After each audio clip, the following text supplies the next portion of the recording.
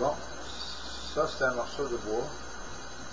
Mon père m'avait montré à l'âge intelligent comment fabriquer un papillon de bois?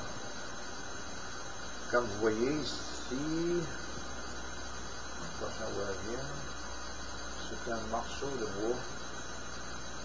On fait des encoches comme ceci. L'autre côté pareil.